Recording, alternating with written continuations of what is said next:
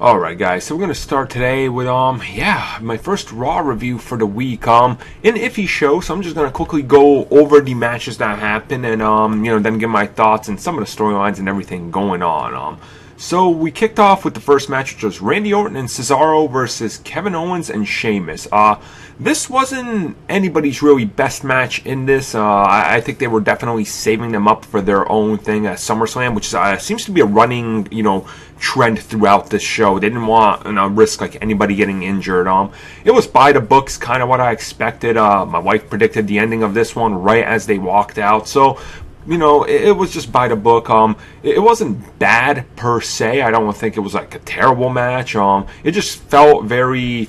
It, it needed to happen. Like um, you know, so just moving along with that, nothing big. Um, there wasn't really even build up to the matches at SummerSlam here with this match. So I don't know what the plan was, but uh, certainly didn't really get me excited for any of these guys at SummerSlam.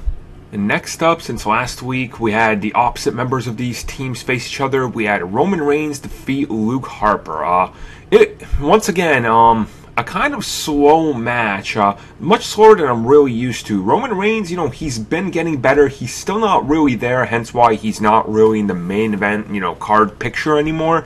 But um, I definitely think they're trying to, you know, bring him up slowly so the fans can actually get behind him this way, which honestly isn't bad. You know, it's not really bad, honestly. Um, but you know, the match ended um uh, with like you know everybody kind of fighting each other. It was mayhem everywhere. Kind of expected since obviously these two um teams are going to be facing each other, family versus family.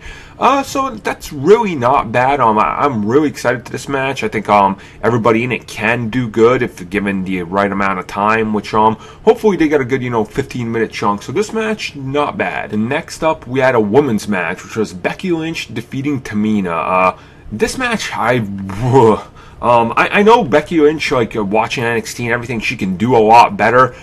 Tamina can do a lot better. Uh, this match felt like once again they just told him go out there, do something. Um, there was a just it, it, felt a little bit lazier than what I'm used to seeing from um, the Divas division, especially in the last like month and a half, where they really made a push to you know get them into matches. Which obviously at this show they had a main event women's match, so that was pretty awesome. Which was uh, honestly a lot better than this one. Um, this match I wasn't too excited for. I know my wife watching it, she was like, ah, they're kind of being a little sluggish. So maybe there was something wrong with one of them. Maybe they had to take slower pace. Um, who knows? Just um, I really wasn't feeling this one. And then we come to my man Rusev defeating Mark Henry. Uh, this match, not the best, obviously. Um, you know, Rusev, I think, can do good once given the uh, appropriate opponent and time to develop, uh, you know, a rhythm with that superstar. Mark Henry, I haven't been the biggest fan of since uh,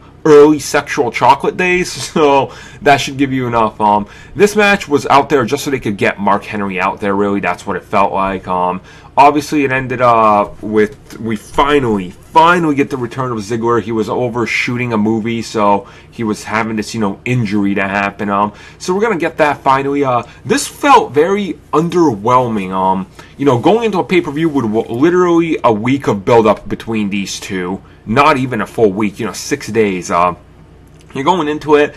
It just kind of felt like nothing. It felt like Rusev was doing the motions, waiting for this to happen. Finally, this is happening, justifying the match.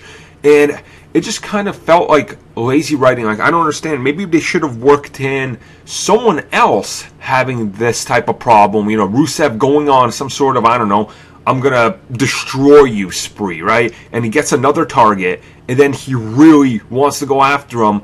You know, and this guy's fighting back, and then they're like, "Well, we have something else for you. Here's, you know, here's now Ziggler.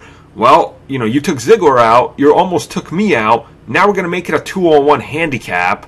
So, you know, you got to show off what you got, and we're going to pretty much beat the hell out of you. Thus, if Rusev wins that one, it puts him over even more, and it kind of gets these two guys who maybe aren't as big, you know, singles because Rusev's been destroying everybody, maybe makes them look a little bit, um, you know, uh, weaker in comparison. But if they win, then we can get another rematch or singles. I just think uh, the booking in this match felt a whole lot wrong. Oh yeah, um, no build up to SummerSlam with Adrian Neville teaming up with uh, you know, Stephen Amell, who's of course the Green Arrow over on CW. Um, yeah, that's kind of just a throwaway. They couldn't even really manage to fit any of these guys into a match. Um, disappointing as hell. And I think what the worst part was is like it was like a two minute takeaway, and they had Cody Rhodes out there, you know, with his whole Stardust thing, cutting a promo. Just didn't really do it. That was really underwhelming. Next up, we had Ryback, who defeated The Miz. Uh, if you guys stick around on this channel, you're going to learn I am not a fan of Ryback at all. I, I, do not like this guy. Don't like you know his style, which uh, you know just tends to be injure people or botch moves. I did. I really can't stand when he's wrestling. Um, and you know he of course pretty much pulled a squash match on Miz. Go figure. Um, it, it just uh, it was a typical Ryback match. I, I don't know what to say really. Obviously setting up a thing when you know Big Show, Big Show walking away. Um, the three are gonna have a match at SummerSlam and I'm pretty sure that match is going to be the piss break now. So, so then we come to the contract signing. Uh, this was, of course, John Cena and Seth Rollins. Two men really good on mic this time. Um, John Cena, that's no surprise. Seth Rollins, I'm glad they're giving him more time to work on the mic. Uh, you know, definitely the uh, standout from Shield. Uh, so they, of course, did the contract signing. This was, of course, another way to prevent both of them from wrestling. Uh, you know, just don't risk injuries. They're you know second biggest pay per view of the year. You know, get them out there, get them trash talking. But um, you know, and here lies the problem. We're going into this, and there was not a whole lot of build up besides words. Uh, you know, the two obviously John Cena's coming off. Um, you know, having his nose surgically repaired, so that he's got to take it easy. But you know, him not even doing anything or like attacking Seth Rollins or anything like that felt really, really weird. Um, it, it, was just them two, you know, talking, and it's supposed to be this heated conversation, and both man wants to get up in the other dude's face, or so we're supposed to believe, but no one is really doing that. So if no one is doing that, and they're both just kind of standing there, then one walks away and the other one tosses the mic, not really much being built up here, you know? And if you blinked, you might have missed this match. Um, yeah, uh, Primetime's players and the Lucha Dragons defeated the New Day and Los Matadores. Um, this was a waste. I think they only got them in here so they could tell you that there's a match coming up with all three, you know, or all four of these teams facing each other at the pay per view for the titles.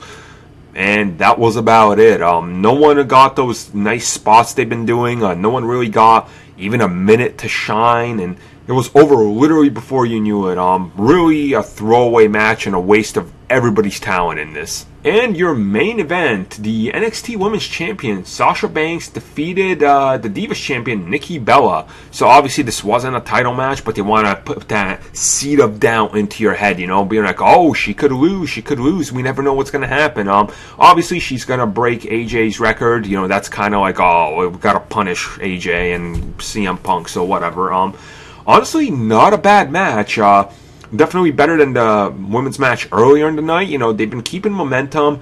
I think honestly, Nikki Bella has gotten a whole lot better, um, especially in the last six months. You go compare matches, it, feels like she's actually been um, putting a lot of effort, been listening to what some people have been telling her, you know, backstage, um, been selling a lot better. So th- this wasn't the best women's match we could get, but it was a good enough women's match that you know when they get to the pay per view and they have the women's match. Hopefully, everybody can deliver on there. You know, everybody's been having these great singles or tag team matches, so hopefully this can um you know keep up uh the good. Uh, stream of um women's matches so I, I did enjoy this one and then finally we get to the end of the show the last 10 minutes um paul heyman coming out doing the best promo cuts in the last 10 years of wwe hyping up brock lesnar where brock doesn't even need to talk he just stands around hometown guy here and um I'm really struggling hard, and I I can't stress enough how hard I'm struggling to uh,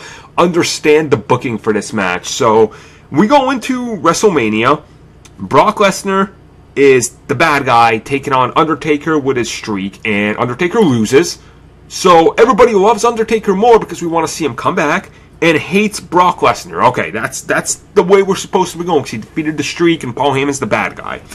So now we're gonna get this rematch and they've been booking Brock as the face, and Undertaker hasn't been around. So Brock is face as the face is facing Seth Rollins as the heel, and then Undertaker deb- you know comes back and obviously interferes in their match at the last pay per view, which is supposed to set up the face versus heel. Except here's the problem: people are were behind Brock as the face, and now Undertaker's coming back as the face. So now we have a face versus face, and we're struggling. You're going into the pay per view where one has to be the clear cut heel for us to, you know, want to cheer for someone. Except here's the problem: you're in Brock's hometown where he's the face, and you're doing like all these like pyros, and you're dropping streamers and confetti, which is obviously making Undertaker the heel now. It, but they're trying to sell Undertaker on the commentary as the face and Brock as the heel. Uh, I was really lost in this. Um, I don't even know who I'm cheering for, honestly. And the way they built up this match, the two have uh, had two appearances with each other in like five weeks. It's feeling really cheap. I this match can't possibly live up to the hype that they're hyping it up as. I just don't get it. Um, and overall, that continues with um this trend of Monday Night Raw before SummerSlam. I don't get it. It just feels lazy, and honestly, laziness is not really what you want, guys. Um, you're going into a pay per view, a pretty big pay per view, so maybe that's why they're doing it. Maybe they're just um getting by by their you know um fact that they know it's a big pay per view and people buy it, but it felt cheap. This Monday Night Raw was probably one of the worst in the last three months, um, and that's disappointing. Uh, I don't even know what to score this. Maybe a 5.5, 6 on its best day would be it.